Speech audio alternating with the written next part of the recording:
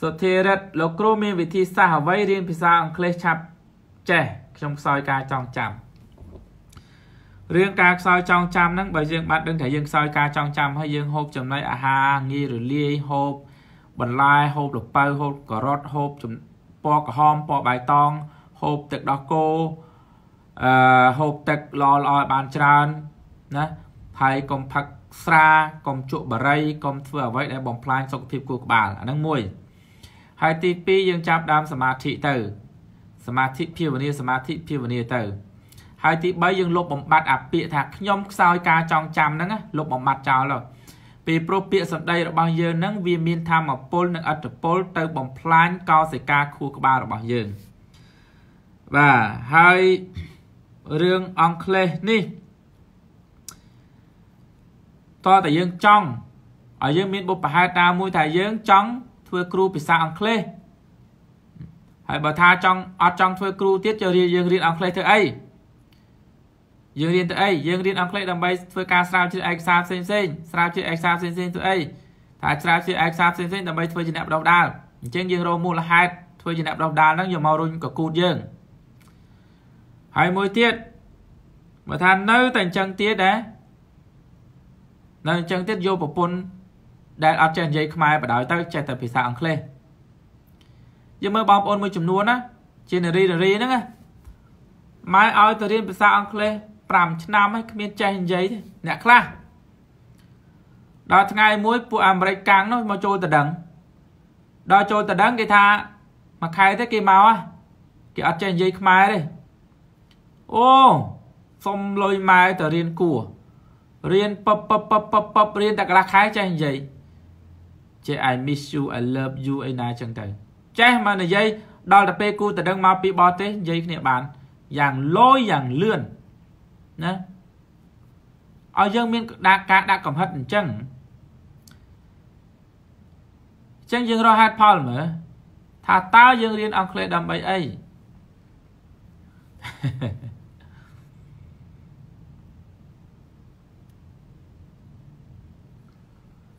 ព្រះចៅអត្តកាមនីពោញៀនខុនសងអាត្មាសូមចម្រើនពរលោកគ្រូអាត្មាភាពចង់សួរលោកគ្រូថាធ្វើដូចម្ដេចដើម្បីឲ្យពូកែនិយាយតើកែតំណែងតំណងកណាកណាថ្វាយគុំដៃគុណពីចងាយបាទជំរាបសួរមករាជំរាបសួរបងប្អូនទាំងអស់គ្នាបងប្អូនទាំងអស់គ្នាដែលបានជំរាបសួរខ្ញុំហ្នឹងខ្ញុំវល់ឆ្លើយអត់បានជំរាបសួរ វិញសូមកុំប្រកាន់សូមកុំប្រកាន់ណាបាទបដិចគុណការពិតណាការពិតដែលកណានិយាយថារីចម្រើនចុះថាដែលកណាបកែនិយាយបកែហ្នឹងណាកាលពីមុនកណាមើលសភៅលោកខាងលិចខ្លាំងច្រើនហើយរៀនវគ្គបដបដាលច្រើនហើយដល់តែពេល ដែលធ្វើឲ្យកណាយល់ដឹងកាន់តែច្រើនថែមទៀតនោះគឺសភៅត្រៃបៃដកសភៅត្រៃបៃដកគុណណាអញ្ចឹងត្រង់ចំណុចហ្នឹងណាគុណអានសភៅត្រៃបៃដកទៅប្រកែហើយកណាកណាអានត្រៃបៃដកនេះនេះនេះត្រៃបៃដកគុណឃើញទេនេះសភៅត្រៃបៃដក អញ្ចឹងគុណនៅវត្តស្រាប់ហើយគុណបួសស្រាប់ហើយគុណដឹងហើយគុណអាចរៀនបានហើយហើយនៅក្នុងត្រៃបៃដកហ្នឹងគឺថាល្អល្អណាស់និយាយអំពីជីវិតជីវិតជ្រៅតែម្ដង ហើយនៅត្រង់ចំណុចនេះខ្ញុំអាចនិយាយបានថាបើសិនជាបងប្អូនណា ចង់ធ្វើជាគ្រូបណ្ដុះបណ្ដាល ចង់ធ្វើជាអ្នកនិពន្ធ ហើយចង់ពូកែនិយាយហើយបើសិនជាមិនបានអានត្រៃបីដកទេចិត្តចំណេះដឹងរាក់រាក់ណាស់សើសើទេសើសើអត់ត្រឹមត្រូវទេបើសិនជាបានរៀនត្រៃបីដកបានអានត្រៃបីដកទៀតយើងនឹងខ្លាំងហើយបើនិយាយអំពីការលក់វិញណាការលក់ហ្នឹងគឺចិត្តសាស្ត្រជ្រៅណាស់ការលក់ការរោស៊ី ចិត្តសាស្ត្រជ្រៅណាស់ហើយចិត្តសាស្ត្រជ្រៅហ្នឹងណាគឺជាចិត្តសាស្ត្រដែលចំកដាលដើមទ្រូងមនុស្សពុជពុជតែម្ដងតិចបងប្អូនថារៀនត្រៃបៃដកទៅរៀនត្រៃបៃដកលែងចង់រកស៊ីអត់ទេគឺរកស៊ីបានដល់ត្រឹមត្រូវបំផុត ហើយដឹងជំរឿចិត្តមនុស្សណាដឹងជំរឿចិត្តមនុស្ស ឧទាហរណ៍ការលក់មួយ នៅលោកខាងលិចឬក៏នៅបរទេសគេគ្រាន់តែរៀនសើសើទេរៀនសើសើធ្វើឲ្យមនុស្សចាប់អារម្មណ៍តែប៉ុណ្្នឹងឯងប៉ុន្តែនៅរឿងក្នុងត្រៃបេដកវិញណាគឺថាជំរុញផលិតផលនឹងចូលកណ្ដាលចិត្តរបស់មនុស្សតែម្ដងចូលកណ្ដាលចិត្តរបស់មនុស្សតែម្ដងអឺ មិនមែនមានន័យថាយើងរៀនតែត្រៃបេដកការរៀនដើម្បីកុំឲ្យយើងវង្វេងគឺយើងត្រូវរៀនទាំងអស់បរទេសក៏យើងរៀនត្រៃបេដកក៏យើងរៀនបើយើងរៀនតែមួយចំហៀងវាកើតនៅសេចក្តីមានះវាកើតនៅការច្រឡំវាកើតនៅការវង្វេងយើងអត់ចេះជាលក្ខណៈសកលឬក៏អត់ចេះច្រើនទេអញ្ចឹងនេះគុណណា កណាហើយបងប្អូនធ្វើជាអ្នកនិពន្ធឬក៏ធ្វើជាអ្នកបដោះដាលក៏ត្រូវតែអានសភៅឲ្យបានច្រើនក៏ត្រូវតែរៀនសូត្រឲ្យបានច្រើនបំផុតមានបងប្អូនយើងខ្លះថាចំណុចលោកគ្រូចេះច្រើនវិស័យបាទអញ្ចឹងបងប្អូនក៏អាចចេះច្រើនវិស័យដែររៀនកាលពីឆ្នាំ2001មកដល់ឆ្នាំ2007 គឺខ្ញុំរៀនតែបរទេសសភៅហើយវគ្គបណ្ដុះដាលវគ្គបណ្ដុះដាលពីឆ្នាំ2004ដល់ឆ្នាំ2007រៀនសុទ្ធសាធបាទអញ្ចឹងការរៀនសូត្រនឹងហើយនាំឲ្យយើងភ្លឺស្វាងយើងអាចនិយាយថាយើងយើងនឹងខ្លាចជាមនុស្សម្នាក់ដែលអាចដឹកនាំអ្នកដទៃបានអញ្ចឹងណា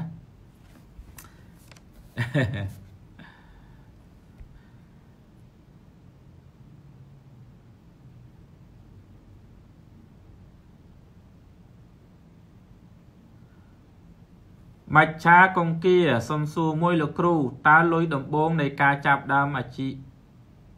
ចាប់ដើមជីវីតើគួរលុយទៅធ្វើអ្វីមុនអឺសំណួរអត់តច្បាស់កង្គាសូមកង្គាសួរម្ដងទៀតមកមច្ឆាកង្គាសំណួរសរសេរអត់តច្បាស់សួរម្ដងទៀតមក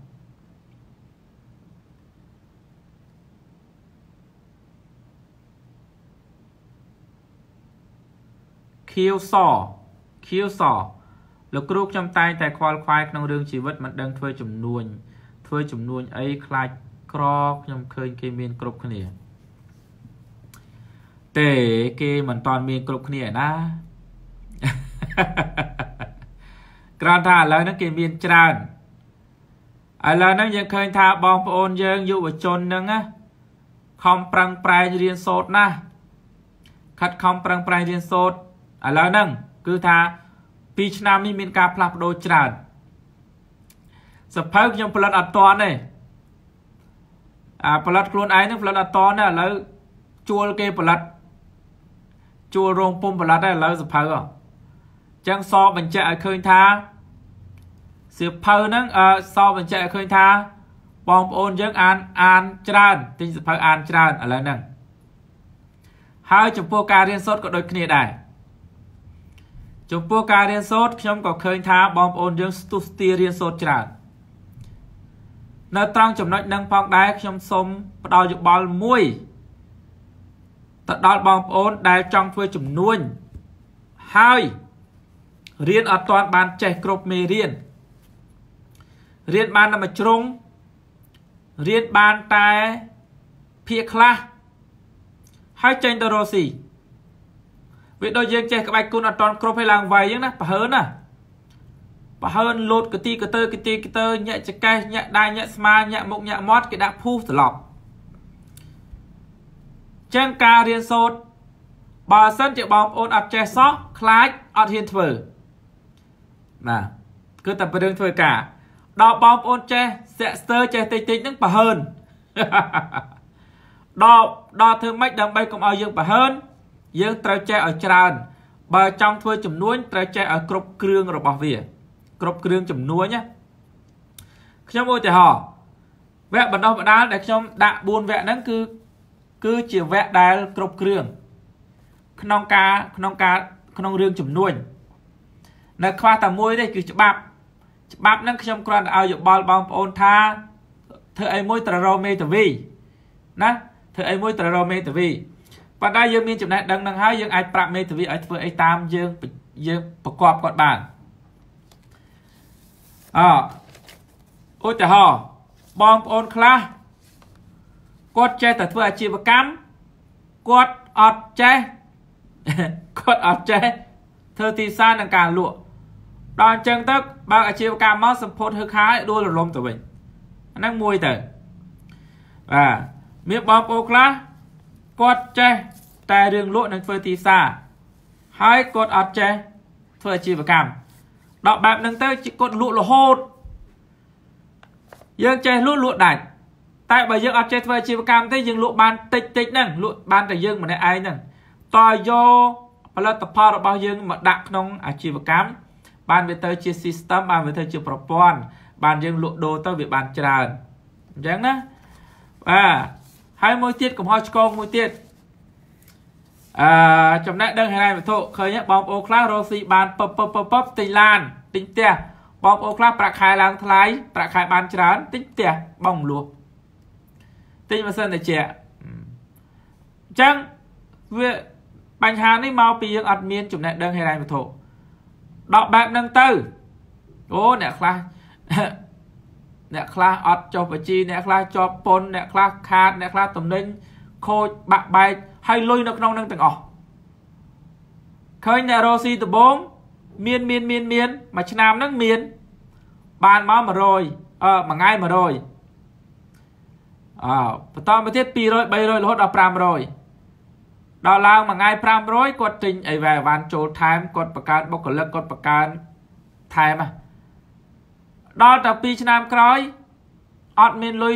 ទៅទិញអីវ៉ាន់ពីគេទេដៃគូដែលធ្លាប់គុតគង់ហ្នឹងអត់សាប់តែអត់មានលុយឲ្យគេហើយខ្លះទៀតអត់ឲ្យមានលុយអត់មានលុយបើកឲ្យបុគ្គលិកទៀតផងយឺតយ៉ាវទៀតផងសួរបញ្ហាហ្នឹងមកពីអីបញ្ហាហ្នឹងការពិតមកពីយើងរស់ស៊ីខាតហើយយើងអត់ដឹងច្រឡំថាចំណេញហើយមូលហេតុដែលយើងមិនដឹងមកពីយើងអត់មានចំណេះដឹងហិរញ្ញវត្ថុហិរញ្ញវត្ថុណា រឿងនេះគឺជារឿងមួយដែលសំខាន់ចាំបាច់ចឹងហើយបានខ្ញុំខ្ញុំថាខ្ញុំឲ្យយោបល់ថា សម្រាប់បងប្អូនណាដែលមិនទាន់មាន ចំណេះដឹងអាជីវកម្មនិងចំណេះដឹងនៃការធ្វើទីផ្សារទេកុំតើអាចធ្វើចំនួនរៀនអាពីរនឹងសិនហើយរៀនអាពីរនឹងហើយអានឹងបើខ្វះលុយតែបើអត់ខ្វះលុយរៀនទាំងអស់ ហើយដល់ពេលយើងរៀនអាពីរនឹងហើយយើងបានលុយមកយើងត្រូវរៀនចំណេះដឹងហិរញ្ញវត្ថុទៀតបើមិនចឹងទេប្រយ័ត្នជុលខ្លួនលងខ្លួនលងខ្លួនធ្លាប់ស្មានតែចំណេញខាតសោះពាក់អំណុលគេទៀតហើយដល់ពេលវារឹងមាំហើយយើងត្រូវប្រើលុយរបស់យើងក្នុងរឿងអចលនទ្រព្យបងប្អូនខ្លះទៅរកស៊ីអចលនទ្រព្យដោយអត់តមាន cash flow ត្រូវមាន cash flow មួយសិន cash flow ហ្នឹងគឺអាជីវកម្ម ហើយធ្វើម៉េចដើម្បីមានអាជីវកម្មចេះធ្វើត្រូវចេះធ្វើអាជីវកម្មចេះធ្វើទីផ្សារនិងការលក់ហើយមានចំណេះដឹងហិរញ្ញវត្ថុបានប្រើប្រាស់លុយទៅលឿនរហ័សចឹងអាចំណេះដឹង4ហ្នឹងជាចំណេះដឹងដ៏សំខាន់ក្នុងការចាប់ដើមធ្វើចំនួនហ្នឹងបាទក្នុងការមានបានហ្នឹងមួយវគ្គ30ដុល្លារក្នុងមួយឆ្នាំ វាជាឱកាសល្អសម្រាប់បងប្អូនហើយកុំឲ្យឱកាសហ្នឹងកន្លងផុតទៀតណាតិចដល់ពេលឡើងថ្លៃបានលោកគ្រូសុំសុំសុំឈប់ឈប់តិចតិចសិន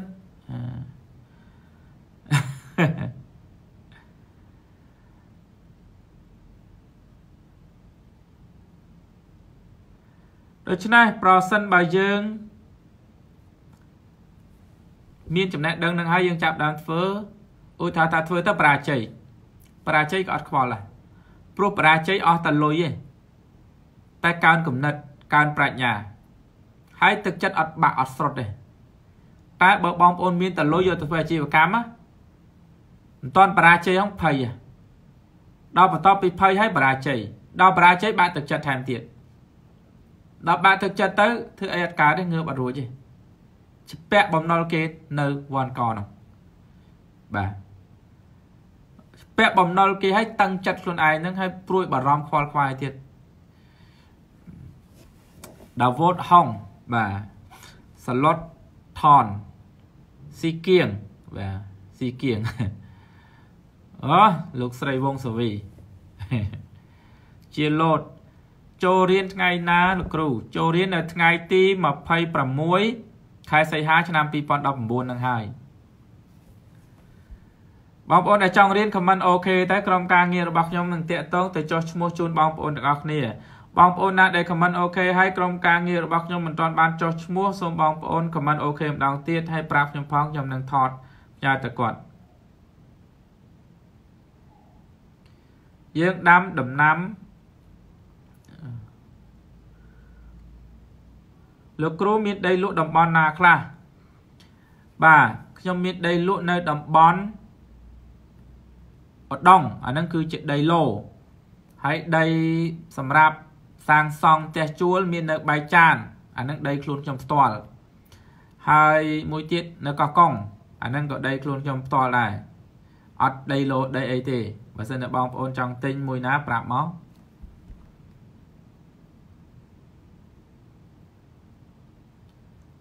ហើយផ្ទះក៏មានដែរផ្ទះមានចង់ទិញផ្ទះប្រាប់ខ្ញុំមកខ្ញុំ មានផ្ទះលក់ជូនបងប្អូនទាំងអស់គ្នាយើងដាំដំណាំធ្វើម៉េចរកលុយអូបាត់បាត់ហើយសំណួរមិញហ្នឹងលោតទៅបាត់ហើយមានលុយ10000ដុល្លារគួរទិញអចលនទ្រព្យបែបណាទៅចំណេញ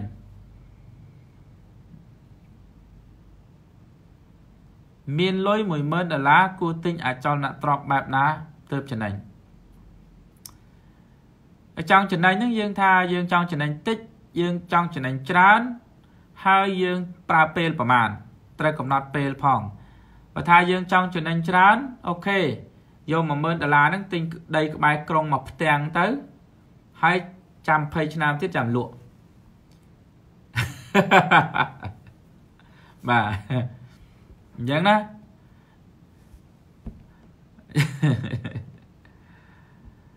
អឺយើងទិញដីដែលអត់សូវអត់មានសម្ផស្សយើងទិញផ្ទះដែលអត់មានសម្ផស្សពីព្រោះអ្វីដែលយើងទិញទាំងអស់នោះ គឺយើងទិញដើម្បីបានទីតាំងទេ ការទិញដីគឺទិញដើម្បីយកទីតាំងទេទោះកន្លែងនឹងចាក់សម្រាម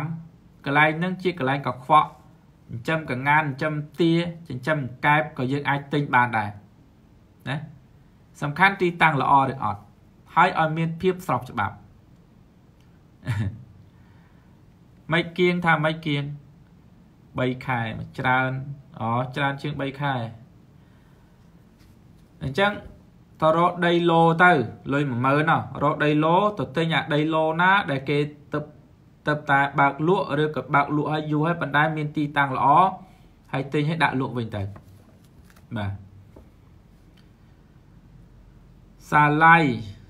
សាឡៃណា តម្លៃ30ដុល្លារក្នុងមួយវគ្គក្នុងមួយឆ្នាំមួយឆ្នាំ30ដុល្លារណា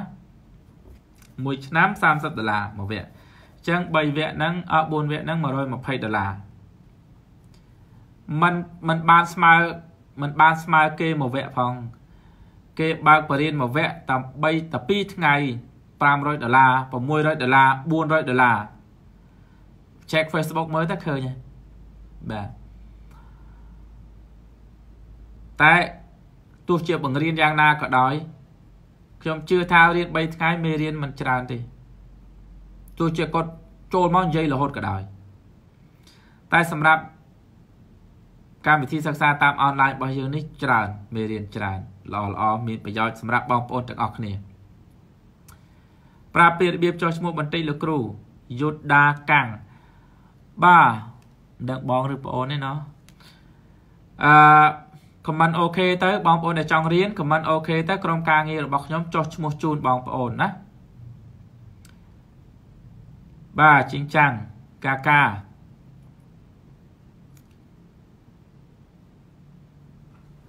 បាទរៀនរៀនតាមអនឡាញរៀនជាមួយខ្ញុំហ្នឹងប៉ុន្តែរៀនតាមអនឡាញហើយបើសិនជាបងប្អូនចង់រៀនផ្ទាល់ខែ10ខែ10បានបើក ហើយខែ10ហ្នឹងវគ្គ1500ដុល្លារក្នុងមួយវគ្គហើយរៀនតែ3ខែទេអញ្ចឹងណារៀនអំពីចំនួនដែរហ្នឹងប៉ុន្តែខ្ញុំមិនតាន់បានផ្សាយទេដោយសារកម្មវិធីរៀបចំមិនតាន់ហើយរៀបចំកម្មវិធីឲ្យបានផ្សាយបានលោកគ្រូរយៈពេល1ឆ្នាំអាចពិវត្តមិនខ្លះអាចអភិវឌ្ឍមិនខ្លះអសុកដាចង់និយាយថារៀនហ្នឹងហ៎ ការអភិវឌ្ឍហ្នឹងអាស្រ័យលើបងប្អូនទេ គឺអាស្រ័យលើផ្សេងផ្សេងគ្នាមានបងប្អូនខ្លះក៏វិវត្តលឿនចេះស្ដែងរាល់ថ្ងៃខ្ញុំក៏បង្រៀនបង្រៀនអ្នកចំនួនធំធំនៅក្នុងអនឡាញតាមអនឡាញដែរហើយការបង្រៀននឹងទៀតសោតបង្រៀនគាត់មួយមួយទល់មួយចឹងណាបាទហើយខ្ញុំសង្កេតឃើញថា បង្រៀនទាំងអស់គាត់ជោគជ័យទាំងអស់ដោយសារទី1គាត់ចាស់ទី2គាត់មានចំនួនស្រាប់ទី3គ្រាន់តែយើងប្រាប់គាត់ធ្វើភ្លាមប៉ុន្តែក្នុងនឹងផងដែរខ្ញុំក៏សង្កេតឃើញថា មានបងប្អូនមួយចំនួន ដែលខ្ញុំបង្រៀនហើយគាត់រៀនរហូតបង្រៀនហើយគាត់រៀនទៀតរៀនមួយវគ្គហើយមួយវគ្គទៀតមួយវគ្គហើយវគ្គទៀតគឺគាត់អត់តន់ ធ្វើបានអញ្ចឹងណាប៉ុន្តែគាត់រៀនហើយរៀនទៀតរៀនហើយរៀនទៀតហ្នឹងល្អវិញក្នុងនឹងដែរក៏មានបងប្អូនខ្លះគាត់រៀនហើយគាត់ធ្វើអត់បានដោយសារអីរៀនបានតិចពេករៀនបានមួយវគ្គមួយវគ្គអញ្ចឹងបាទឧទាហរណ៍យើងរៀនវគ្គឱកាសយើងរៀនវគ្គគោលដៅយើងត្រូវមានគោលដៅក្នុងហ្នឹងក្រោយពីរៀនចប់ទៅក្នុងចំណោម100នាក់មាន2 3នាក់ដែររកគោលដៅអត់ឃើញ អញ្ចឹងនឹងវាជាបញ្ហាទូទៅទេដោយសារអីកម្រិតបញ្ញារបស់មនុស្សមានការខុសៗគ្នាអញ្ចឹងដូចយើងរៀននៅសាលាអញ្ចឹងណាអ្នកខ្លះរៀនហើយប៉កែអ្នកខ្លះមិនប៉កែអញ្ចឹងទៅអ្នកខ្លះរៀនហើយខ្លាចជាអុកញ៉ាអ្នកខ្លះរៀនហើយរត់តាក់ស៊ីអញ្ចឹងទៅទាំងអស់នេះខ្ញុំជឿខ្ញុំគិតថាបើសិនជានៅតែរក្សាការរៀនគាត់នឹងយល់នៅថ្ងៃណាមួយហើយគាត់នឹងជោគជ័យនៅថ្ងៃណាមួយ រឿងអត់ជោគជ័យអត់មានទេប៉ុន្តែបើសិនជាបងប្អូនខ្លះរៀនហើយរៀនទៅរៀនមិនកើតបោះបង់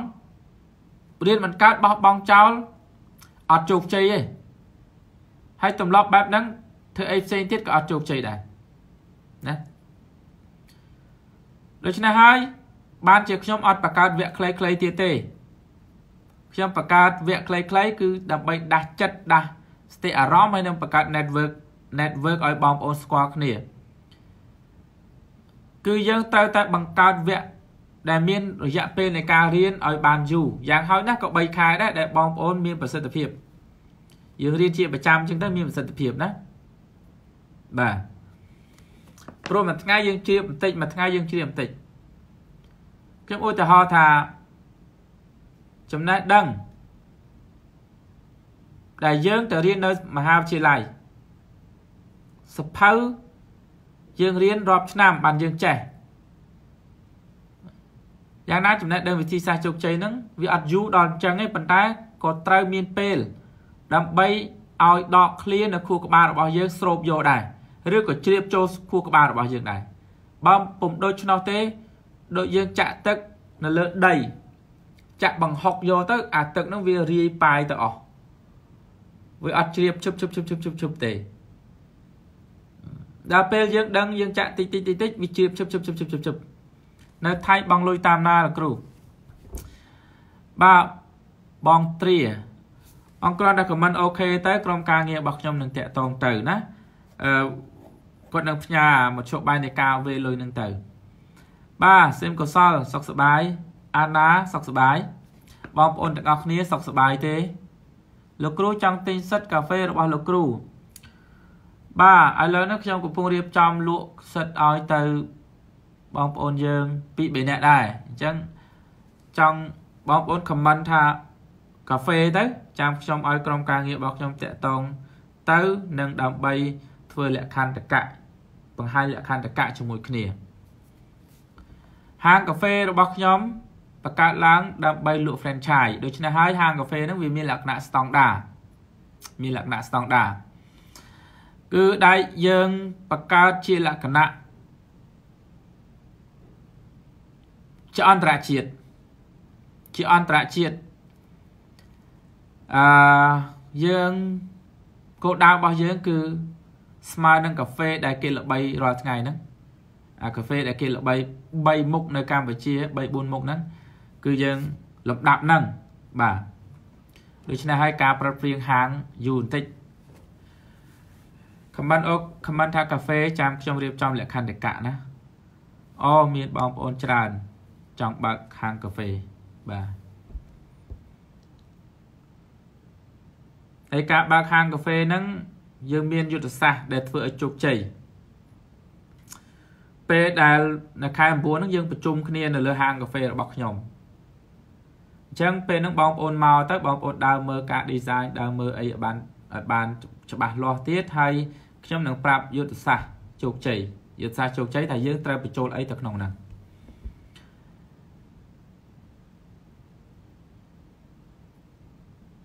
បាទទៅដល់ណាបាត់ហើយសំណួរ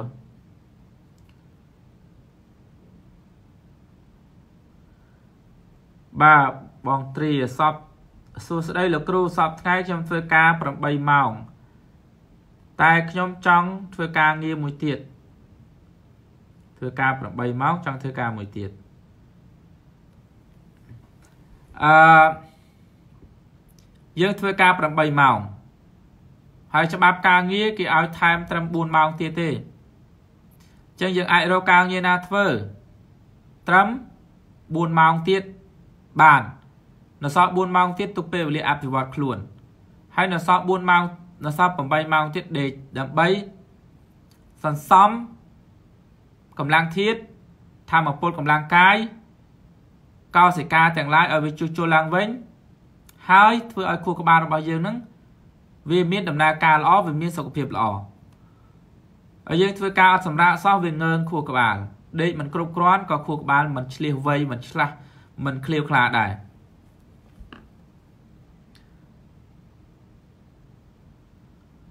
បាទបើសិនជាខ្ញុំបដោះផ្ដាល់សូមសំណូមពរឲ្យ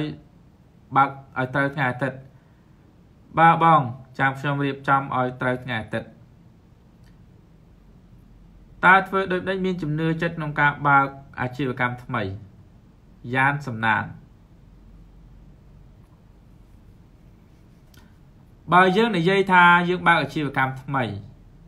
ដូច្នេះមានន័យថាយើងមានអាជីវកម្មចាស់ហើយបើយើងមានអាជីវកម្មចាស់ហើយ អ្វីត្បិតថាអាជីវកម្មចាស់ហ្នឹងវាខុសអំពីអាជីវកម្មថ្មីណាប៉ុន្តែគោលការណ៍គោលពាក្យថាគោលការណ៍តែមួយទេគោលការណ៍វាគ្រាន់តែខុសគោលនយោបាយតែវាមានគោលវាមានវាមានតម្រុយស្រាប់ហើយអញ្ចឹងហើយបើសិនជាបងប្អូនបើកអាជីវកម្មមួយបាន ក្នុងមួយជីវិតរបស់បងប្អូនហ្នឹងណា កុំថាឡើយបងប្អូនទៅបើកអាជីវកម្ម2បងប្អូនទៅបើកអាជីវកម្ម100ទៀតក៏បានដែរពីព្រោះរូបមន្តនៃការធ្វើវា គឺវាមានទម្រង់របស់វាស្រដៀងនឹងគ្នាទេគ្រាន់តែមានអាជីវកម្មខ្លះត្រូវថែមនេះត្រូវថយនោះត្រូវថយនេះត្រូវថយនោះត្រូវថែមនេះថែមនោះណាឧទាហរណ៍យើងដឹងថាក្បួនថា ទី1ក្បួនបង្កើតអឺក្បួនជ្រើសរើសអាជីវកម្មយើងដឹងដឹងអញ្ចឹងក្បួនទី2ក៏ដូចគ្នាអញ្ចឹងដែរអើយើងដឹងអំពីរបៀបកំណត់អតិជនគោលដៅឧទាហរណ៍ថាការកំណត់អតិជនគោលដៅមាន6ចំណុចអញ្ចឹងយើងយក6ចំណុចហ្នឹងមកកំណត់អតិជនគោលដៅនៅអាជីវកម្មទី2របស់យើងទៀតក៏បានដែរគ្រាន់តែរបៀបខុសគ្នារបៀបខុសគ្នាបាទអញ្ចឹងហើយ ដើម្បីកុំឲ្យយើងភ័យសូមឲ្យបងប្អូនរៀនអាជីវកម្មក៏ជ្រុំអាចំណេះដឹងអាជីវកម្មនោះឲ្យបានខ្លាំងក្លា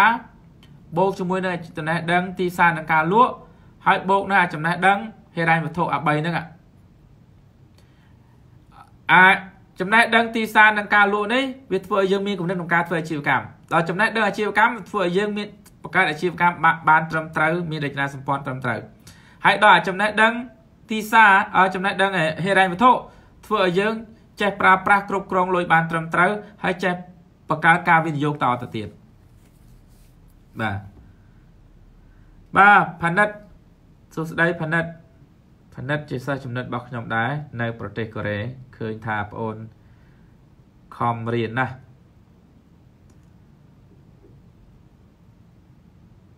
បាទបងស្រីបុផាអរគុណច្រើន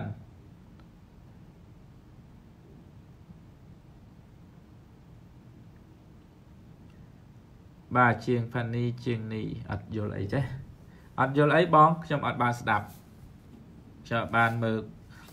ឥឡូវខ្ញុំផ្សាយអំពីរឿងវគ្គបណ្ដុះបណ្ដាលវគ្គសិក្ខាវគ្គបង្រៀនតាមអនឡាញហ្នឹង4វគ្គហ្នឹងណាទី1គឺវគ្គចាប់ដើមអាជីវកម្មធ្វើឲ្យយើងចេះធ្វើអាជីវកម្មចេះបង្រៀនអាជីវកម្មទី2ចំណេះដឹង ទីផ្សារនិងការលក់ធ្វើឲ្យយើងចេះលក់បកែលក់ទី3គឺចំណេះដឹងហិរញ្ញវត្ថុ ចេះប្រើប្រាស់លុយចេះគ្រប់គ្រងលុយចេះបង្កើតលុយហើយចេះទិញទ្រព្យហើយបង្កើតលុយបានខ្លាយជាអ្នកមានលឿនបាទហើយទី4គឺចំណេះដឹងអាចលនៈទ្រព្យអារឿងចំណេះដឹងអាចលនៈទ្រព្យនេះវាដូចសាំងអញ្ចឹងចំណេះដឹងអាចលនៈទ្រព្យដូចសាំងហើយចំណេះដឹងហិរញ្ញវត្ថុដូចភ្លើងអញ្ចឹងអាពីរនឹងបូកបញ្ចូលគ្នារកស៊ីលឿនរកស៊ីលឿនបាទ ពីព្រោះនៅក្នុងចំណេះដឹងហេរញ្ញវត្ថុហ្នឹងក៏វាមានចំណេះដឹងអចលនៈទ្រព្យនឹងដែរតោះឱកាសល្អបងប្អូនរៀនបានច្រើនគ្នាណាបងប្អូនចង់រៀនខមមិនអូខេទៅរៀនតាមអនឡាញនៅកន្លែងណាក៏អាចរៀនបានដែរហើយតម្លៃសិក្សាគឺធូរថ្លៃណាស់មួយវគ្គត្រឹមតែ30ដុល្លារទេក្នុងមួយឆ្នាំមួយឆ្នាំ30ដុល្លារមួយវគ្គ30ដុល្លារចឹង4វគ្គហ្នឹង120ដុល្លារ ហើយ120ដុល្លារស្មើមួយខែ10ដុល្លារហ្នឹងបងប្អូនចង់រៀន comment អូខេទៅក្រុមការងាររបស់ខ្ញុំនឹងតាក់ទងទៅណាបងប្អូនកំពុងទស្សនានៅនៅ page ណា comment អូខេនៅ page នោះទៅបាទ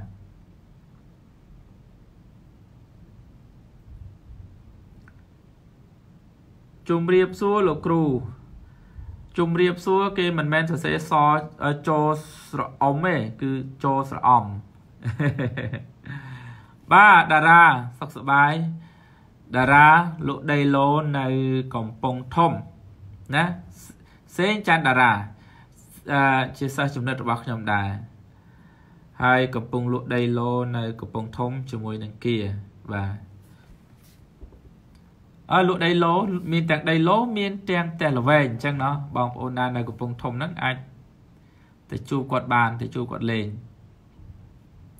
លោកគ្រូបើកវគ្គបង្រៀនច្បាប់មួយទៀតទៅអឺអត់ទេខ្ញុំអត់បង្រៀនច្បាប់ទេអឺច្បាប់ជាជំនាញរបស់មេធាវីអញ្ចឹងខ្ញុំអាចនិយាយអំពីផ្លូវច្បាប់បានខ្លះឬថាបានច្រើនក៏បានដែរដោយសារខ្ញុំធ្លាប់ ចាញ់បោកគេអញ្ចឹងទៅខ្ញុំរៀនច្បាប់ប៉ុន្តែខ្ញុំអត់មានសញ្ញាបត្រច្បាប់ទេហើយរឿងច្បាប់ហ្នឹងត្រូវមានសញ្ញាបត្រយ៉ាងណាមិញប្រសិនបើបងប្អូនចេះដឹងនៅវិធីសាស្ត្រជោគជ័យមនុស្សសាស្ត្រហើយយើងអាចរៀនច្បាប់ដោយយើងអានដោយខ្លួនឯងហើយយើងពិភាក្សាជាមួយមេធាវីពិភាក្សាជាមួយមេធាវីព្រោះថា គ្រប់ជំហានរបស់យើងសុទ្ធតែមានការពាក់ព័ន្ធនឹងច្បាប់ទាំងអស់លក់ដីឡូក៏ពាក់ព័ន្ធច្បាប់ កាត់ប្លង់បងពុនក៏ពាក់ព័ន្ធនឹងច្បាប់អាប្រចាំនឹងក៏ពាក់ព័ន្ធនឹងច្បាប់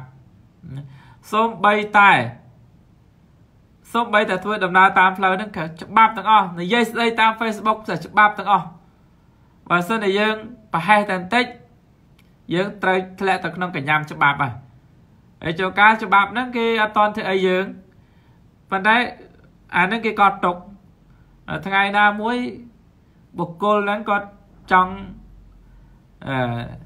គាត់ចង់សើរើគាត់ចង់អីហ្នឹងរឿងរបស់គេពីព្រោះអញ្ញាយុកាលនៃច្បាប់នេះវាខុសពីអញ្ញាយុកាលនៃនៃអានេះវាជាអញ្ញានុកាលដែលកណាវាមិនតាន់មានបទល្មើសឬក៏អញ្ញានុកាលនៃបទល្មើសហ្នឹងវាខុសពីទោសទណ្ឌ ទោសទណ្ឌមានការកំណត់ប៉ុន្តែបើគេមិនតាន់ប្តឹងមានអីត្រូវកំណត់ចុះកាល10ឆ្នាំ10ឆ្នាំហួសដល់ពេលគេប្តឹងអត់ទេអត់ហួសទេតើអាសាក្រមចេញបានហួសបាទតែបើរឿងច្បាប់នោះយើងអាចនិយាយបានតិចតិចចឹងมันអាចវែកញែកបានទេ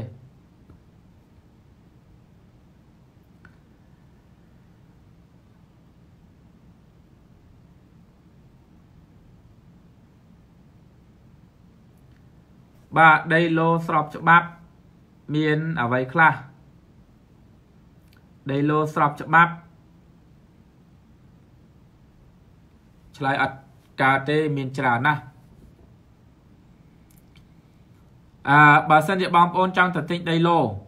សួរគេថាតើប្លង់តុនឬប្លង់រឹងអាប្លង់តុនហ្នឹងក៏ស្របច្បាប់ដែរប៉ុន្តែប្លង់តុនហ្នឹងយើងទៅសួរសង្កាត់ឬក៏ឃុំ ថាតើអ្នកលក់ដីឡូហ្នឹងគាត់បានដាក់ប្លង់តម្កល់នៅកន្លែងនោះហើយឬនៅណាហើយទៅសួរស្រុកទៀតបើម្ចាស់ដីដែលជាអ្នកលក់ដីឡូហ្នឹងបានដាក់ដំប្លង់តម្កល់ហើយអាហ្នឹងពេលយើងទិញទៅគាត់កាត់ឲ្យពេលដែលយើងបង់លុយឲ្យគាត់នោះតែបើសិនជាបងប្អូនបិទផ្នែកទិញអត់ទៅស្រុកអត់ទៅឃុំអាហ្នឹងអាចមានហានិភ័យណាហើយបើសិនជាដីឡូហ្នឹងមានប្លង់រឹងបើមានប្លង់រឹង សូយកដីដឹងច្បាស់ហើយគេចេញនៅវិញ្ញាបនបត្រឲ្យយើងមើលប៉ុន្តែយ៉ាងណាក៏ដោយទៅកន្លែងអាញាធរទៅល្អជាងពីព្រោះឥឡូវមានជនខិលខូចច្រើនណាស់ចុងកាលហ្នឹងប្លង់លួចធ្វើរបៀបคล้ายคล้ายអីមិនទៀតណាចឹងហើយទៅសង្កាត់តិចឬក៏ទៅស្រុកតិចទៅ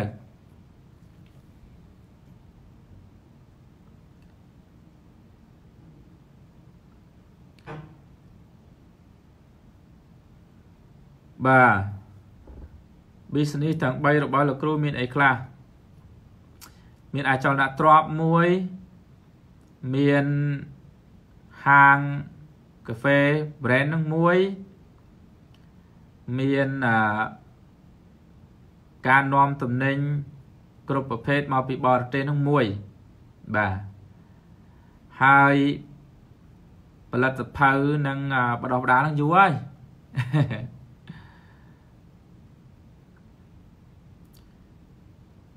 យ៉ានសំណាងតើធ្វើដូចម្ដេចដើម្បីមានជំនឿចិត្តក្នុងការបើកអាជីវកម្មថ្មីលោកគ្រូអសំណួរដដែលណាខ្ញុំបានឆ្លើយហើយហើយសំណួរណាដែលពាក់ព័ន្ធនឹងសំណួរដដែលខ្ញុំអត់ឆ្លើយទៀតទេណា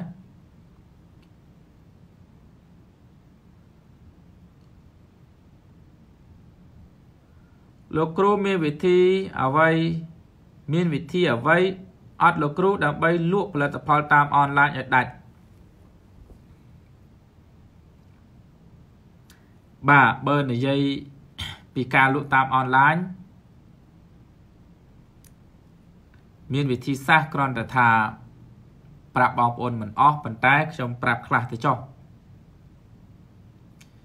ទី1បងប្អូនត្រូវមាន page ណាត្រូវមាន page ដែលមានឲ្យមានអ្នក like ច្រើនហើយផលិតផលរបស់បងប្អូនហ្នឹងបងប្អូនចង់លក់ផលិតផលអីអញ្ចឹង បងប្អូនចង់លក់ផលិតផលអីឲ្យគេ design ដាក់ background ហ្នឹងឲ្យ page របស់យើងហ្នឹងគេមើលទៅយល់ថាហ្នឹងជាផលិតផលអីបង្កើត page ជា page អាជីវកម្មសម័យនេះត្រូវតែរៀនលក់តាមអនឡាញហើយបងប្អូនដាក់ចំណេះដឹង ដែលពាក់ព័ន្ធនឹងវិស័យដែលបងប្អូនចង់ ចង់លក់នឹងសិនមួយខែពីរខែ3ខែ4ខែសិនទៅបងប្អូនចង់លក់កូនឈើឧទាហរណ៍ណាចង់លក់កូនឈើចង់លក់ផ្កាជាដើមចឹងបងប្អូនដាក់ព័ត៌មាន ដាក់ដំណឹងដាក់មេរៀនដែលពាក់ព័ន្ធនឹងបរិស្ថានពាក់ព័ន្ធនឹងកូនឈើហើយមានការអត្ថាធិប្បាយបន្តិចបន្តិចមកអាដើមកគីហ្នឹងវាមានប្រយោជន៍មិនប្រហែលឆ្នាំបានវាបានផលអាដើមវាធំយ៉ាងម៉េចដើមតូចយ៉ាងម៉េចដើមកញូងដើមកកោះ ឬក៏ផ្កាផ្កានេះមកពីណាផ្កានោះមកពីណាចេះតែអត្ថាធិប្បាយទៅហើយដាក់អត្ថាធិប្បាយឲ្យបានត្រឹមត្រូវហើយបង្ហោះទៅហើយ share ទៅឲ្យគេជួយ like ឲ្យគេជួយ share ឲ្យបានច្រើនដល់បងប្អូនមានអ្នក like ច្រើនខ្ញុំឧទាហរណ៍ថាមានអ្នក like 1លាននាក់ចឹងដល់ពេលដែលបងប្អូនចាប់ផ្ដើមលក់តាមអនឡាញបងប្អូនយក page មក live ខ្ញុំកំពុង live តាម page ហ្នឹងណា អឺ page របស់ខ្ញុំបង្កើត6 7ខែប៉ុន្តែខ្ញុំទៅ live បានមួយខែហ្នឹងទេបាទអញ្ចឹងយើង live ទៅយើង live តាម page ហ្នឹងទៅឲ្យគេស្គាល់យើងហើយបានយើងចាប់ផ្ដើមលក់ផលិតផលរបស់យើងហើយការលក់នឹងទៀតគឺយើងត្រូវរៀបចំ background ណាឲ្យត្រឹមត្រូវទៅតាមផលិតផល គឺថាបងប្អូនចង់លក់អាហារប៉ុនចង់លក់គ្រឿងសម្ផស្សរៀបចំឲ្យបានត្រឹមត្រូវទៅហើយរបៀបរបបនៃការនិយាយតិចនេះនៃការនិយាយអានឹងចាំអានឹងវាមានចំណុចរបស់វាច្រើនខ្ញុំរាប់អត់អស់ខ្ញុំចែករំលែកជូនពេលនឹងអត់តាន់បានទេ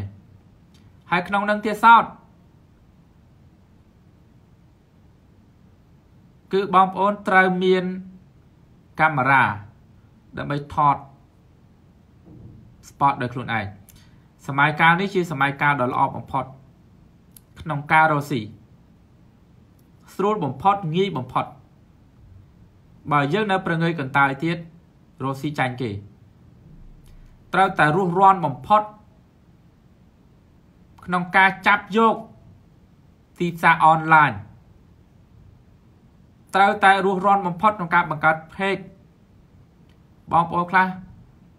រហូតមកដល់ថ្ងៃហ្នឹងអត់ទាន់ដាក់រូបខ្លួនឯងពិតប្រកបនឹងអត់ទាន់ដាក់ឈ្មោះផងដូរចាប់ដើមដូរដាក់ background ដាក់រូបខ្លួនឯងបានត្រឹមត្រូវទៅ Facebook មួយ page មួយទៅបាទហើយចាំមើលថ្ងៃណាមួយដែលខ្ញុំដក clear បានតិចខ្ញុំនឹងបង្កើតវិធីសាស្ត្រក្នុងការលក់តាមអនឡាញឲ្យបងប្អូនមួយវគ្គមួយវគ្គនឹងថោកឯងប្រហែលជា10ដុល្លារអីទេចាំខ្ញុំតនេបន្តិច សិនណាហើយបើសិនជាមានបងប្អូន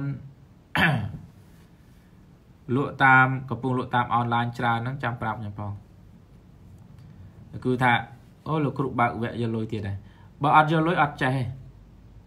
អត់យកលុយអត់ចេះទេណាខ្ញុំសង្កេតឃើញអញ្ចឹងមួយរយៈនេះខ្ញុំបានជួប មនុស្សជាច្រើន ដែលគាត់មករកខ្ញុំឲ្យផ្ដល់យោបល់ប្រឹក្សាយោបល់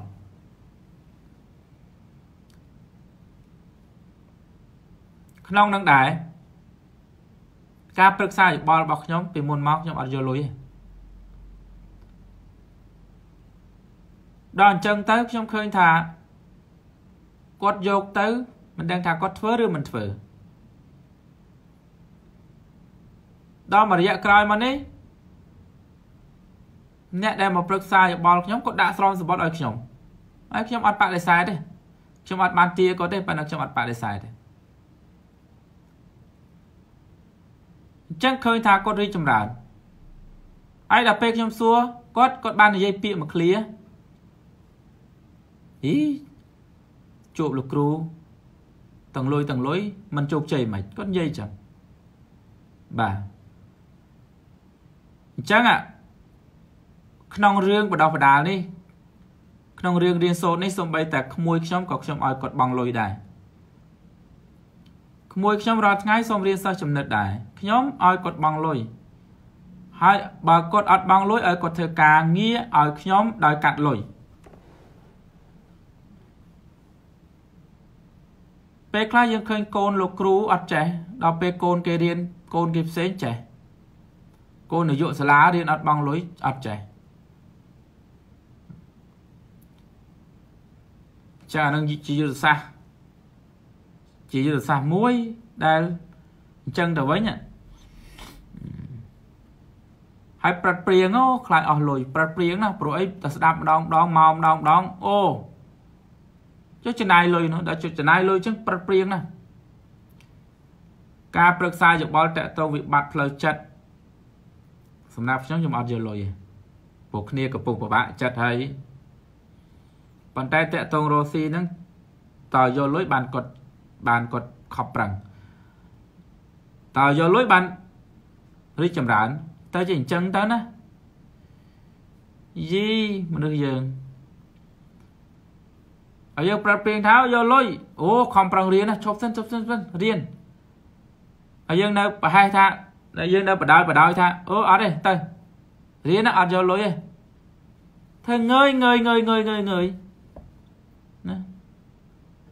ហ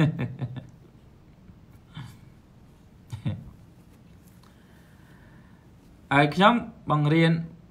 បងប្អូនសិស្សបងប្អូនដែលបានចុះឈ្មោះហ្នឹងខ្ញុំបង្រៀនអំពីវិធីរកស៊ីហើយបើរៀនបើបង្រៀនពីវិធីរកស៊ីអត់យកលុយអត់សមទេ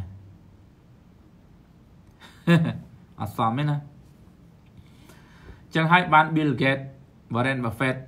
គ្រាន់តែគេ សុំជួបគាត់មួយថ្ងៃ ដើម្បីពិភាក្សាចំណុចមួយទូចសោះគាត់ឲ្យគេណាត់មុន3ខែហើយមុន3ខែហើយគាត់កំណត់តម្លៃគេ90000ដុល្លារហើយគេសួរថាម៉េចបានម៉េចបានគាត់របាយជាមួយគាត់មកពេលម៉េចបានយកលុយច្រើនម្ល៉េះគាត់ថា ដើម្បីឲ្យពាក្យសម្ដីរបស់គាត់ហ្នឹងណាចូលក្នុងខួរក្បាលរបស់អ្នកភ្លុចភ្លុចអត់របេះចេញមួយម៉ាត់តលតែអ្នកបងលុយថ្លៃជួបខ្ញុំបើអ្នកមិនបងលុយថ្លៃជួបខ្ញុំទេមកនឹងជួនកាលទូរស័ព្ទគ្រឿងគ្រឿងគ្រឿងគ្រឿងជួនកាលចុច Facebook ជួបតែក្តៅកកូតតែ45នាទីក្តៅកកូតហ្នឹងចាប់ដើមរើនេះរើនោះចាប់ដើមផ្អៀងផ្អងចាប់ដើមបាយអារម្មណ៍ដល់ពេលគេកំណត់យកលុយអត់ទេតាំងពីជួបដំបូងរហូតដល់ចុងបញ្ចប់ហ្នឹងគឺអត់ឲ្យពាក្យសម្ដីធ្លាក់ចេញមួយម៉ាត់ទេណាបាទខេម ខេមរតនាចូលចិត្តវិធីសាស្ត្រលក់តាមអនឡាញក្នុងសម័យកាលនេះបងប្អូនទាំងអស់គ្នាដែលអត់រកស៊ីដែលរកស៊ីអ្វីក៏ដោយត្រូវតែលក់តាមអនឡាញមិនថាបងប្អូនបើក resort ដែលត្រូវការទីតាំងល្អប៉ុន្តែត្រូវតែផ្សាយតាមអនឡាញផ្សាយលក់តាមអនឡាញមិនថាបងប្អូនលក់កង់ម៉ូតូ នៅទីតាំងណាមួយជាក់លាក់ក៏ត្រូវតែផ្សាយតាមអនឡាញមិនមែនមានន័យថាអូតើតែលក់ទំនិញលក់ទំនិញអឺលេម្សៅវិចខ្ចប់ឲ្យគេឲ្យផ្ញើទៅបានលក់តាមអនឡាញណាលក់ដីក៏លក់ដីដែលផ្ញើទៅមិនបានហ្នឹងក៏ត្រូវលក់តាមអនឡាញលក់ផ្ទះដែលវិចខ្ចប់ផ្ទះផ្ញើទៅបានហ្នឹងក៏ត្រូវលក់តាមអនឡាញ ពីព្រោះសម័យកាលនេះផ្សារនៅតាមអនឡាញផ្សារនៅលើបាតដៃនេះត្រូវចេះប្រើសិលមិនសិលវីណាត្រូវចេះប្រើសិលក្នុងការរកស៊ីគឺប្រើបច្ចេកវិទ្យាក្នុងការរកស៊ី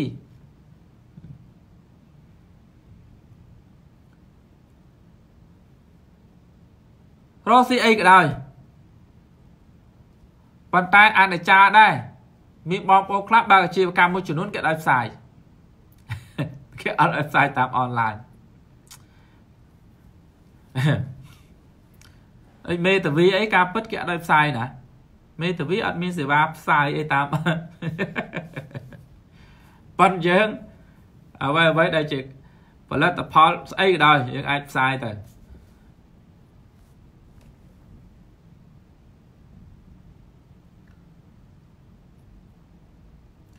ហើយឥឡូវហ្នឹងខ្ញុំអត់មានដោយសារខ្ញុំអត់មានពេលវេលាដល់អញ្ចឹងទៅមានបងប្អូនខ្លះណាត់ជួបវាបានជួបខឹងបងប្អូនខ្លះណាត់ជួបវាបានជួបខ្ញុំអត់រឹកទេការពិតខ្ញុំចង់ជួបបងប្អូនទាំងអស់គ្នាណាពួកខ្ញុំអ្នកចូលចិត្តមនុស្សខ្ញុំតែងតែដើរជួបមនុស្សចាស់ក្មេងទូចធំអីគ្រប់ប្រភេទណាដើម្បីសិក្សាស្រាវជ្រាវហើយដើម្បីចងក្រងជាមេរៀនប៉ុន្តែដោយសារតែឥឡូវហ្នឹងអត់មានពេល អត់មានពេលហើយអញ្ចឹងដើម្បីកុំឲ្យបងប្អូនចំណែនគ្នាកុំឲ្យបងប្អូនចំណែនគ្នាថាអត់បានជួបបងប្អូនខ្លះដែលចង់ជួបអត់បានជួបឥឡូវខ្ញុំកំណត់ថាជួបខ្ញុំពិភាក្សារឿងរ៉ូស៊ី1ម៉ោង300ដុល្លារ1ម៉ោង300ដុល្លារមានឯក1ម៉ោង300ដុល្លារគ្រួសារគិតតែម្នាក់ទេប្តីប្រពន្ធគិតតែម្នាក់ទេម៉ែឪកូនគិតតែម្នាក់ទេបាទ 1ម៉ោង300ដុល្លារហើយជួបផ្ទាល់ហើយអត់ឲ្យថតអត់ឲ្យអីទេជួបនឹងបន្ទប់កញ្ចក់ហើយហើយ1ម៉ោង1ម៉ោងហ្នឹងគឺថាបើអត់ស្ដាយលុយទេអាហ្នឹងស្រេចតែបងប្អូនទេបាទអញ្ចឹងណាហើយសេវាកម្មហ្នឹងអត់តន់ធ្វើឥឡូវហ្នឹងទេសេវាកម្មហ្នឹងបងប្អូនដែលបានណាត់ជួបខ្ញុំហើយខ្ញុំជួបអត់គិតប្រាក់ទេ ហើយបងប្អូនដែលមានបញ្ហាខាងវិបត្តិផ្លូវចិត្តក៏អត់គិតលុយដែរពួកគ្នាពុំមានវិបត្តិផងគិតលុយមកទៀតបើសងអីក៏អត់គិតលុយដែរកណាអ្នកចំនួនចំនួនឯងគិតលុយតិចតែព្រោះគាត់បើមិនចឹងទេគាត់អត់ចេះធ្វើចំនួនទេពេលថា business business ហ្នឹងគិតលុយ ចឹងហើយបើចំណេះដឹងខ្លះខ្ញុំអត់គិតលុយទេចំណេះដឹងតាក់ទងនឹងរឿងផ្លូវចិត្តផ្លូវអីហ្នឹងអត់គិតលុយទេតែតាក់ទងរស់ស៊ីបងប្អូនចាំបើការបង្រៀនរស់ស៊ីណាមិនគិតលុយទេគេមិនមែនហៅថាការបង្រៀនរស់ស៊ីទេគេមិនមែនហៅថាការបង្រៀន business ទេណាការបង្រៀនរកស៊ីដើម្បីឲ្យបងប្អូនចេះរកស៊ីត្រូវតែគិតលុយអាហ្នឹងដូចគ្នាដែរថ្ងៃក្រោយពេលបងប្អូនចេះទៅ ដោះស្រាយបញ្ហារបស់បងប្អូនយើងផ្សេងទៀតគ្នាពិបាកពិបាកកុំគិតលុយអីគ្នាកំពុងមានបញ្ហាស្នេហាកូនឈឺស្លាប់អឺទាំងអស់ហ្នឹងកុំគិតលុយប៉ុន្តែអ្វីដែលបងប្អូនថាចង់ឲ្យគាត់នឹងមករីកចម្រើនមកនឹងដឹងពីរបៀបរបបនៃការរលុយមកហ្នឹងគឺចង់ទៅវិញឲ្យបានប្រយោជន៍អានេះគិតលុយគាត់ទៅតែគិតលុយគាត់ទៅគាត់មកហ្នឹងគាត់ត្រៀមបិចត្រៀមសភៅត្រៀមតិចនឹងស្ដាប់ប្រុងប្រយ័ត្នខ្លាំងណាស់ហើយគាត់យកទៅធ្វើហើយ មិនធ្វើមិនស្ដាយលុយដោយសកលវិទ្យាល័យមួយចំនួនយើងមើលមើលអាហារូបករណ៍សម្រាប់តអ្នកបកែទេ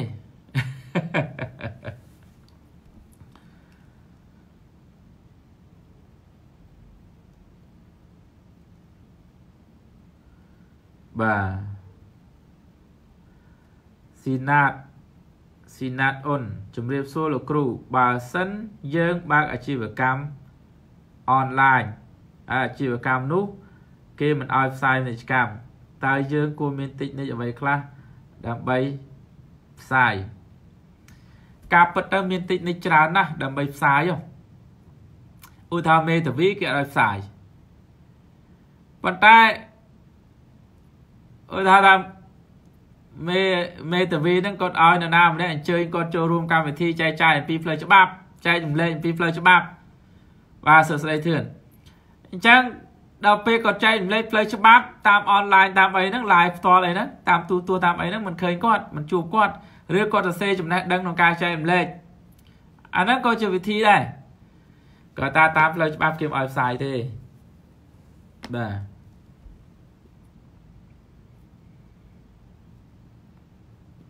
បាទចម្រើនផលវគ្គហ្នឹងចូលរៀននៅថ្ងៃទី26ខែសីហាឆ្នាំ2019វគ្គសិក្សាតាមអនឡាញហ្នឹងណាថ្ងៃទី26សីហាឆ្នាំ2019ប៉ុន្មានថ្ងៃខាងមុខទៀតតែប៉ុណ្ណោះទេបាទអឺ វគ្គសិក្សាតាមអនឡាញហ្នឹងមាន4វគ្គទី1ការចាប់ដើមធ្វើអាជីវកម្មទី2គឺចំណេះដឹងទីផ្សារនិងការលក់ទី3ចំណេះដឹងហិរញ្ញវត្ថុទី4ចំណេះដឹងអចលនទ្រព្យក្នុងមួយឆ្នាំ30ដុល្លារមួយឆ្នាំ30ដុល្លារធូរថ្លៃណាស់យើងឬយើងហៅថាថោកថោកណាស់ប៉ុន្តែអត់ថោកទាបទេបាទ ការពិតថោកហ្នឹងហើយមានន័យថាតម្លៃទាបប៉ុន្តែគុណតម្លៃវាមិនទាបទេតម្លៃរបស់វាគុណតម្លៃរបស់វាខ្ពស់ណាមួយឆ្នាំមួយវគ្គ30ដុល្លារស្មើនឹងមួយខែ10000រៀលហើយសួរថាហេតុអីបានតម្លៃធូរថ្លៃអញ្ចឹងតម្លៃធូរថ្លៃអញ្ចឹងដោយសាររៀនតាមអនឡាញអត់ប្រើសាល អត់ប្រើម៉ាស៊ីនត្រជាក់អត់ប្រើភ្លើង ហើយបងប្អូនរៀនច្រើនគ្នា ដល់រៀនច្រើនគ្នាអញ្ចឹងទៅ មិនអីទេខ្ញុំអាចបង្រៀនបានបាទបើបង្រៀនដោយផ្ទាល់ប៉ុណ្ណឹងទៅអត់រួចទេ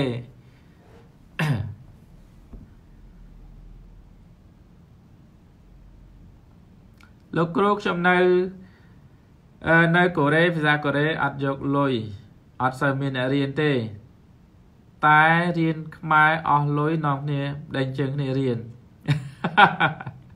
បាទអញ្ចឹងណាមនុស្សយើងអញ្ចឹងប៉ុន្តែរឿងផ្លូវច្បាប់រឿងកូនក្មេងរឿងបងប្អូនដែលគាត់ទន់ខ្សោយអីយើងមិនគួរយកលុយទេសម្រាប់បងប្អូនយើងដែលគាត់ធម្មតាធម្មតាគាត់ចង់រកស៊ីយកលុយទៅ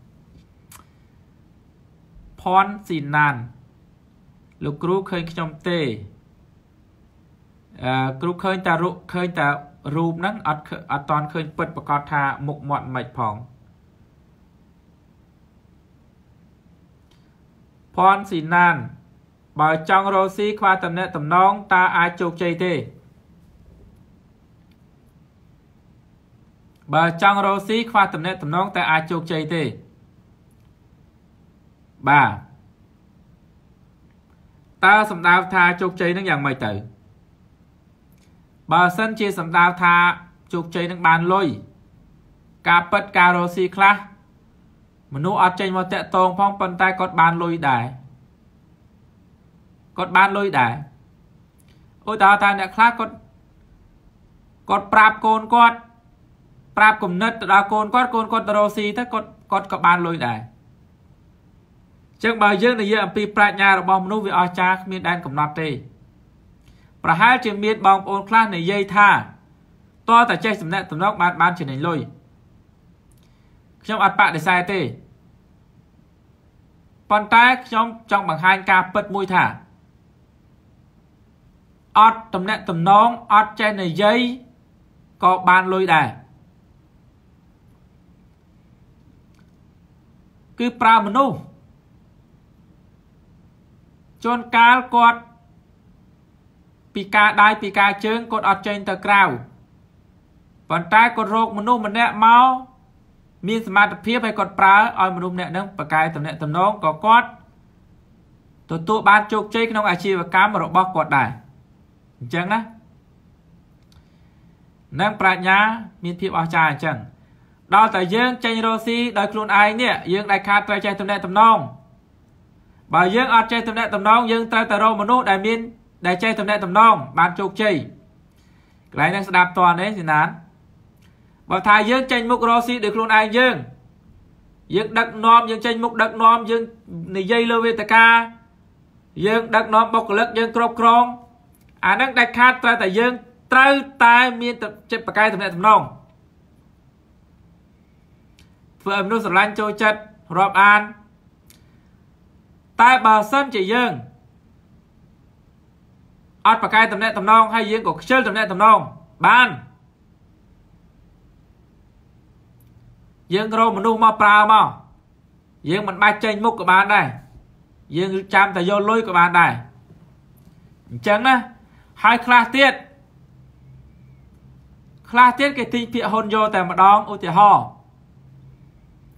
អ្នកខ្លះ គាត់បានលុយមកគាត់ទិញពាក្យហ៊ុនរបស់ Mark Zuckerberg ពាក្យហ៊ុនរបស់ Bill Gates ទៅគាត់អត់ចេញមុខចេញមាត់ក៏គាត់បានលុយដែរអ្នកខ្លះទៀតគាត់កាចសាហាវជាកងអីចឹងទៅប៉ុន្តែគាត់រកស៊ីមុខរបរមួយចំនួនក៏ខ្លាយជានឹងមានដែរ ដូចជាលក់ដីចឹងណាគាត់មានដីមានអីទិញដីលក់ទិញដីលក់អញ្ចឹងទៅពេលខ្លះការពិតខ្ញុំអត់ចង់និយាយចំណុចហ្នឹងទេខ្លាចបងប្អូនខ្វះការតំណែងតំណងប៉ុន្តែដើម្បីពង្រីកបញ្ញាឲ្យបងប្អូនយល់ដឹងទាំងអស់ឲ្យទូលាយតតតែនិយាយថាគេអាចប្រើមនុស្សហើយគេអាចធ្វើមុខរបរមួយចំនួនដោយមិនចេញមុខតំណែងតំណងទេហើយខ្លះទៀតគេទៅអែបជាមួយអ្នកល្បី គេទៅយកអត្តពលពីអ្នកល្បីពីអ្នកដែលប្រកែកតំណែងតំណងណាចឹងពលអ្នកធ្វើចំនួនមាន3ប្រភេទមានអ្នកនៅក្នុងចំនួនមានអ្នកនៅពីលើចំនួនមានអ្នកនៅពីក្រោយចំនួនអ្នកនៅពីក្រោយចំនួនចាំបាច់ប្រកែកតំណែងតំណងអីបាទបាទចង់ចង់រៀន comment អូខេទៅ comment អូខេទៅក្រុមការងាររបស់ខ្ញុំនឹងតាក់ទងទៅណា អូខេជាភាសាខ្មែរក៏បានអង់គ្លេសក៏បានដែរមកវគ្គ30ដុល្លារក្នុងមួយឆ្នាំមួយវគ្គ30ដុល្លារក្នុងមួយឆ្នាំគឺតែមួយខែ1ដុល្លារអឺ2ដុល្លារកន្លះទេបាទហាងកាហ្វេរបស់ខ្ញុំ នៅផ្លូវ271ក្បែរបូរីជីបម៉ង មិនតាន់បើកមិនតាន់បើក design ហាងអត់តាន់ហើយទេបាទបើបងប្អូនចង់ទិញ franchise គ្រាន់តែសរសេរថាអូអគ្រាន់តែសរសេរថាកាហ្វេទៅចាំក្រុមការងាររបស់ខ្ញុំតាក់ទងទៅអត់តបើកហ្នឹងមិនលក់ franchise បានបានព្រោះរៀបចំអស់ហើយម៉ាស៊ីនកាហ្វេគ្រឿងផ្សំគោលការណ៍លក្ខន្តិកៈរៀបចំអស់ហើយ បាទ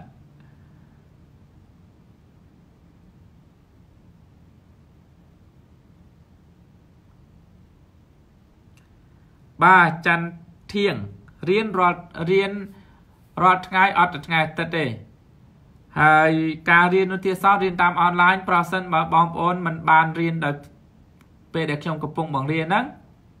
បងប្អូនចាំរៀនពេលក្រោយក៏បាន រៀនម៉ោងណាក៏បានដែរព្រោះវីដេអូនៅក្នុងហ្នឹងហើយវាមិនប៉ះពាល់ដល់ពេលវេលារបស់បងប្អូនទេខ្ញុំជឿថាបងប្អូនធ្វើដំណើរក៏អាចរៀនបានសូម្បីបងប្អូនងូតទឹកក៏អាចរៀនបានដែរដាក់អាទូរស័ព្ទហ្នឹងបញ្ឈរទៅបញ្ឈរដងវាទៅហើយយើងរៀនបានហូបបាយក៏រៀនបានដែរធ្វើដំណើរហូបបាយមុនចូលដេករៀនបានទាំងអស់ បាទចម្រើនជាងថតរូបហាងកាហ្វេរបស់ខ្ញុំឈ្មោះថា Thinking Coffee កាហ្វេគិតកាហ្វេគិតណាបាទ Thinking Coffee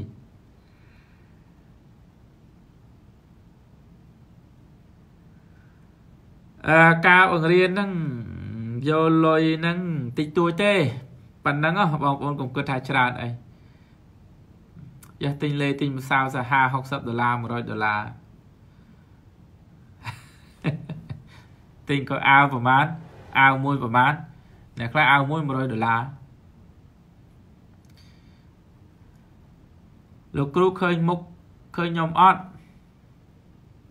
ឃើញពីចម្ងាយអូននីសាបាទឃើញពីចម្ងាយ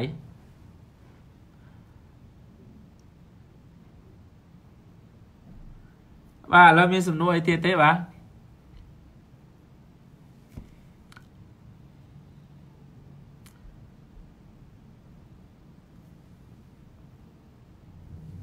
រៀនពីវគ្គអ្វីខ្លះដែរលោកគ្រូបាទមាន4វគ្គវគ្គចំណេះដឹងអាជីវវគ្គការចាប់ដើមធ្វើអាជីវកម្ម1វគ្គចំណេះដឹងទីផ្សារនិងការលក់2វគ្គចំណេះដឹងហិរញ្ញវត្ថុ3វគ្គចំណេះដឹងអចលនទ្រព្យ4 4វគ្គហ្នឹងមួយវគ្គ30ដុល្លារមួយឆ្នាំណាការពិតយើងរៀនតែពី3ខែចប់ហើយប៉ុន្តែយើងរៀនមួយឆ្នាំដើម្បីជួបគ្នាបានញឹកញយដើម្បីដឹងថាបងប្អូនណាខ្លះយល់បានបណ្ណាធ្វើបានបណ្ណាតាមដានទៅមានការយល់យ៉ាងម៉េចខ្លះហើយជំរាបសួរលោកគ្រូខ្ញុំចង់ចេះ public speaking តើធ្វើយ៉ាងណាទៅលោកគ្រូ ព្រោះនៅខ្លាចបេះដូងកាន់សិលរៀនឲ្យបានច្រើនទៅចូលរួមវគ្គបណ្ដុះបណ្ដាលឲ្យបានច្រើន ចូលរួមជាមួយនឹងគ្រូបណ្ដុះបណ្ដាលឲ្យបានច្រើន ចូលរួមជាមួយនឹងវេទិកាផ្សេងផ្សេងឲ្យបានច្រើនអានសភៅឲ្យបានច្រើនរៀនសាសនានយោបាយធម្មជាតិសេដ្ឋកិច្ចច្បាប់ រៀនឲ្យបានច្រើនព្រោះ public speaking public speaking មានន័យថាអ្នកនិយាយជាសាធារណៈអ្នកនិយាយជាសាធារណៈអត់ឡើងមកបេបបេបទេណាត្រូវតែអាចឆ្លើយនិងចេះឲ្យបានច្រើនយ៉ាងបាទ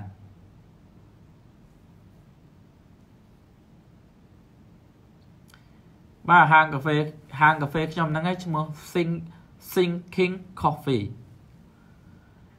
នៅ3វគ្គទៀតមិនតាន់ចុះឈ្មោះឥឡូវឡើងថ្លៃគីមវង Atomy បាទតិចទៀតឡើងថ្លៃទៀតហើយឥឡូវចុះឈ្មោះឲ្យហើយទៅកាលពីមុន27ដុល្លារឥឡូវឡើង30អាកាកាលហ្នឹងខ្ញុំប្រាប់បងប្អូនហើយតាថាតិចទៀតឡើងតិចទៀតឡើងចំពោះតំណែងរបស់ខ្ញុំក៏ដូចជាសេវាកម្មរបស់ខ្ញុំ ខ្ញុំលក់ថោកមុនហើយថ្លៃក្រោយ លើកលែងតែតំណែងហ្នឹងខូចគុណភាពបាក់បែកដែលនៅប្រើការបានតិចតួចអាហ្នឹងលក់ចោះតម្លៃបាទ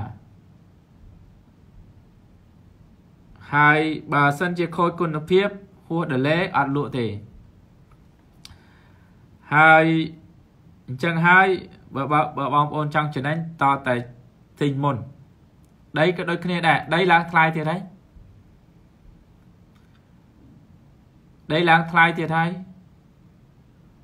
យើងឡើងយើងលក់ឡើងថ្លៃមុនអ្នកទិញអ្នកទិញលើកមុនចំណេញអញ្ចឹងយ៉ាងណាគោលការណ៍គោលចំហរបស់ខ្ញុំលក់ដំបងតម្លៃទាបហើយឡើងតិចតិចបាទអញ្ចឹងបងប្អូនរស់រាន់ទៅ ក្នុងការទិញដីឬក៏ទិញឬក៏វគ្គដោះដាល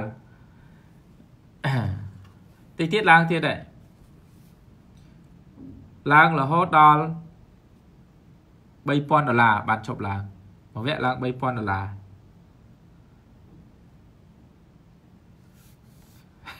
លើសលើសមួយវគ្គ3000ដុល្លារហូហូបាទមានហើយតាមានខ្ញុំរាល់ថ្ងៃខ្ញុំបង្រៀនខ្លះ វគ្គខ្លះ3 3000វគ្គខ្លះ4000វគ្គខ្លះ5000វគ្គខ្លះ10000រហូតដល់វគ្គខ្លះ10វគ្គខ្លះ90000ណាអាហ្នឹងខ្ញុំបរៀនឲ្យតារាល់កាយហ្នឹងមានវគ្គខ្លះខ្ញុំយក90000ណាហើយ90000ហ្នឹងមិនមែនរៀនផ្ទាល់ទេគ្រាន់តែរៀនមួយទល់មួយរៀនតាមអនឡាញហ្នឹងមួយទល់មួយបាទ ហើយសួរថាណាគេអត់ហ៊ានបញ្ចេញមុខគាត់ទេព្រោះគាត់ហាមមិនឲ្យបញ្ចេញមុខគាត់សុំមិនឲ្យបញ្ចេញមុខហេតុអីព្រោះអីគាត់មាននេះដែរគាត់មានកូនសិស្សគាត់ដែរគាត់មានបុគ្គលិកគាត់ច្រើនដែរ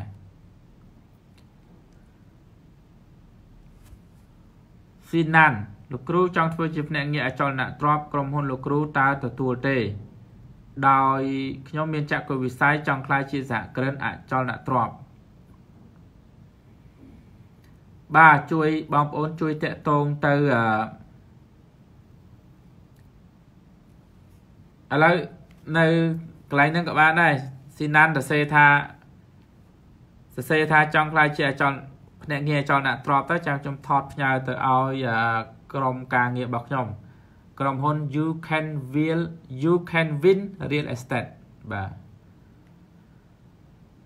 អឺសាសចំណិតតរៀបចំកម្មវិធីហើយសិន ព្រោះទី1កម្មវិធីរបស់យើងកម្មវិធីធ្វើជំនួយនឹងត្រូវអាប់ដេត6ខែម្ដង6ខែម្ដងចំណេះដឹងវិធីសាស្ត្រជោគជ័យត្រូវអាប់ដេតខ្លះចំណេះអឺចំណេះដឹងខ្លះទៀតជាចំណេះដឹងសច្ចភាពអត់អាប់ដេតទេបាទអញ្ចឹងមិនថាកម្មវិធីមិនថាផលិតផលអីទេ យើងត្រូវតែអាប់ដេតវារាល់ថ្ងៃរាល់ខែទៅ ទៅអ្នករៀនឬក៏អ្នកប្រើប្រាស់ហ្នឹងទាន់សម័យបងប្អូនមើលតែទូរស័ព្ទបងប្អូនណាតិចតិចអាប់ដេតតិចតិចអាប់ដេតតិចតិចអាប់ដេតដើម្បីឲ្យមានភាពប្រសើរជាងមុន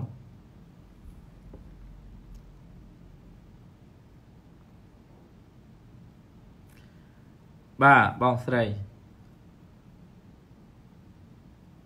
អឺសម្រាប់មានន័យថាម៉េចបងសម្រាប់ សម្រាប់មានន័យថាយើងនៅស្ងៀមអញ្ចឹងហ៎យើងនៅស្ងៀមអត់ធ្វើអីយើងសម្រាប់ដើម្បីកម្លាំងចុះបើយើងមានកម្លាំងហើយហ្នឹងយើងមានកម្លាំងហើយហ្នឹងគឺថាយើងយើងសម្រាប់ដើម្បីសុបាយចុះបើយើងនិយាយអញ្ចឹងយើងបានសុបាយដែរ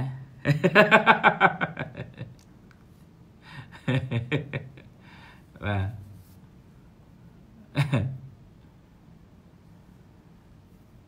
វគ្គសិស្សចំណិតអត់តន់រើសអត់តន់រើសទេចាំមួយរយៈទៀត